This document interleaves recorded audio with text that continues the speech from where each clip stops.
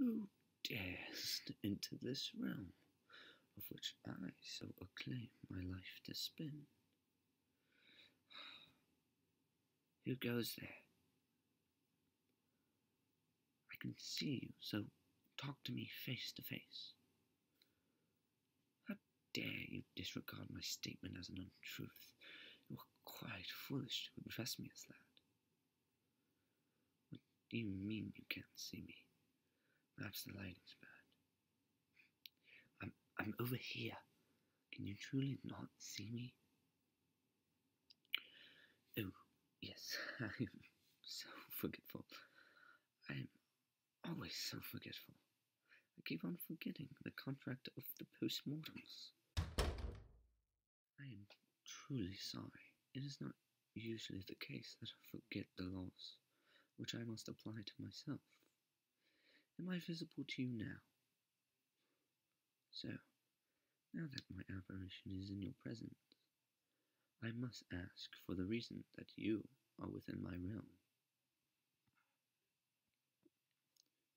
You stumbled into here as a part of a dare, and you say that these are your friends who have done this. But for what reason would an amicable associate give such a request? It seems only for the intention of causing trouble on your person. I dare say, if I were in such association with you in that manner, which of course I am not, but if I were, I would never implore you to indulge in such dangerous scenarios. A test of bravery?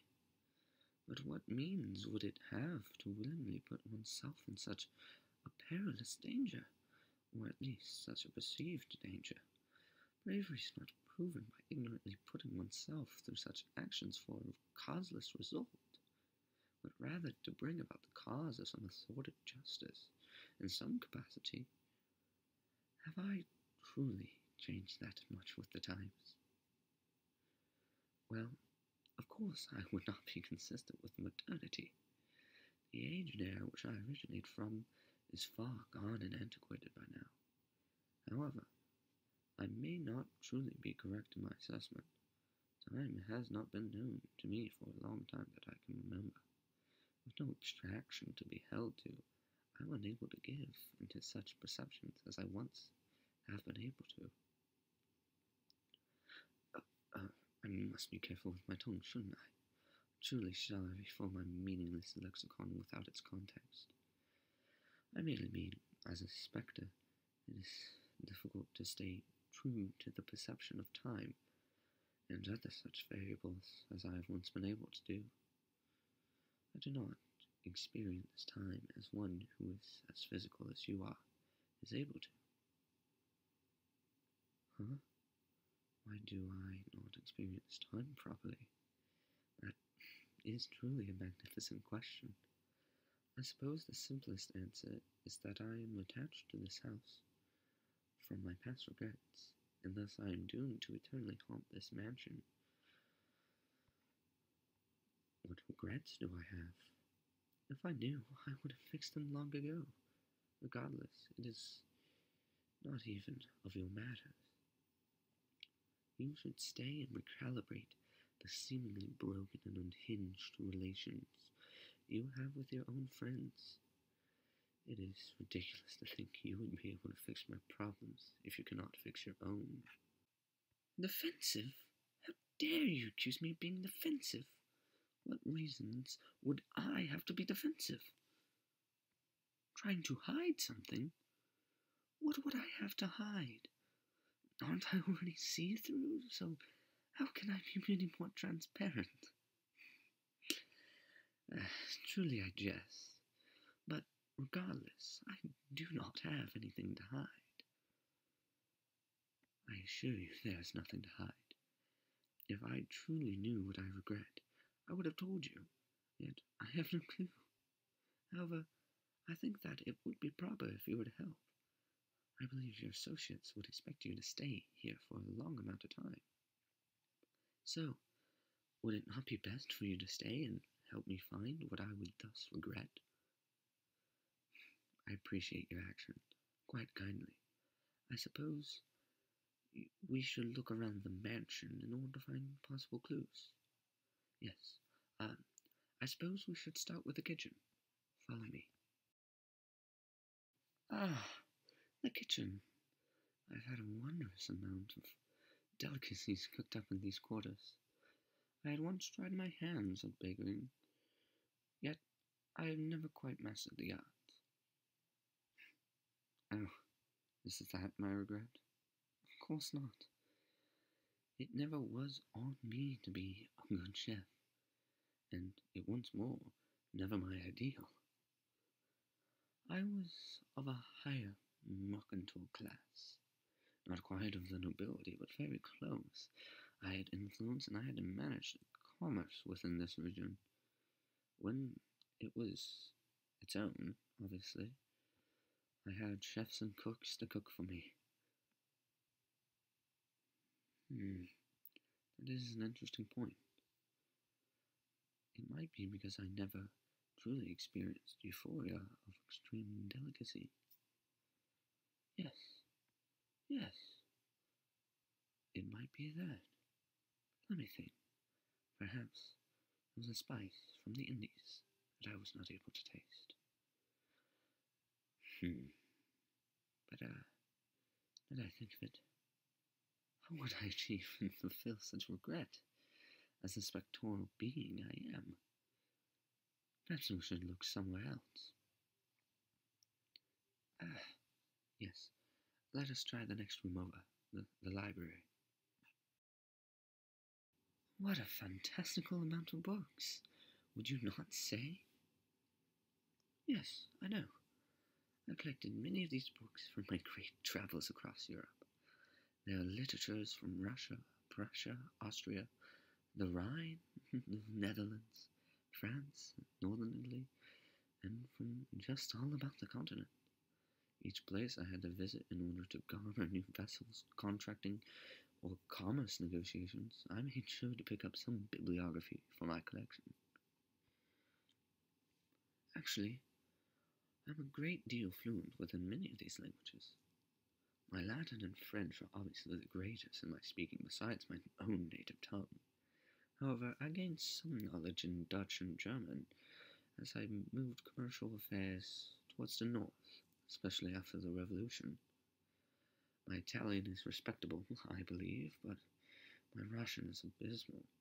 Regardless, I can still read the script. Yes, yes, it might be that. It might be a regret of a lack of knowledge, or perhaps that of a lack of books. There's a possibility of feeling incomplete from the amount of stories in here that I haven't read. Let me think. What books and stories haven't I read? I've read a few whilst I was in the realm of the living, obviously, and of course, an even greater amount after I died. So, there aren't any that I feel I haven't read, or at least wanted to read. I had already told you. I can't think of any regrets.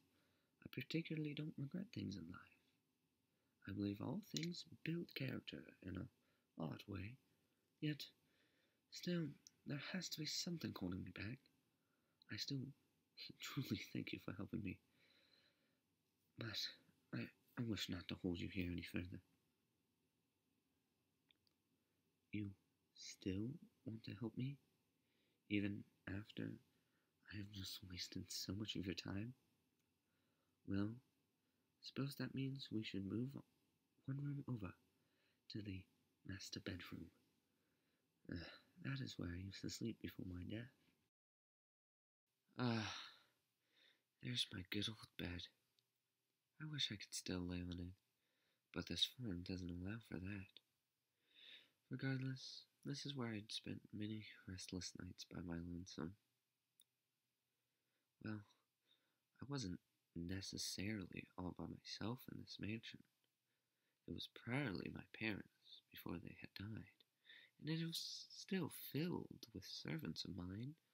In fact, I believe that they served the next owner after this mansion had been passed on when I died. Well, of course there was a different owner. I had no heir. On this very bed I had died of a heart condition about the age of twenty four, if I remember correctly. So there would have been no time for me to be locked into marriage, let alone produce an heir, unless I were to be scandalous, of course. But I'm not. What do you mean? How would I have been able to find a wife at such an age? Truly, I tell you this. It is very difficult for me to express feelings such as that. I would have not accepted anything less than what my good would have told me. If it can lead me through my business, surely it would be able to lead me through my life and subsequent relations. Yet, people are very hard to talk to in such a manner. My words were meant for deals, not courting. You think that it could be that I regret not finding love? Surely that is a fallacy. How can I need love?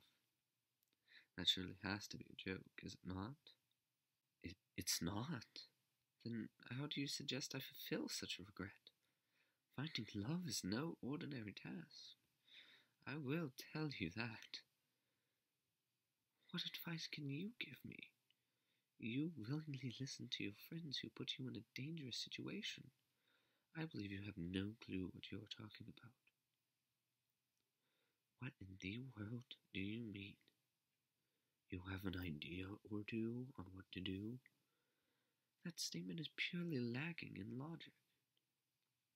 Why did you just try to slam your head into mine? That is absolutely nonsensical. Were you attempting to make me unconscious? Kiss? But why? We barely know each other. Is that how you wanted to solve my problem?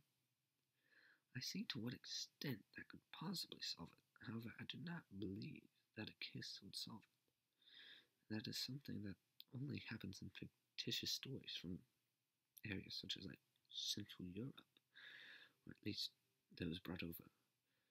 Perhaps, though, I would give it an attempt. And very truly I tell you, this is only to see if that is the thing of which I regret. It would be best for you to return whenever you feel it is best to have such a date. It mustn't be today, though. It would seem as if you have already made your impression. I do not believe it suitable to attempt to court someone on the day of. Though I believe some of the Central Europeans would do that.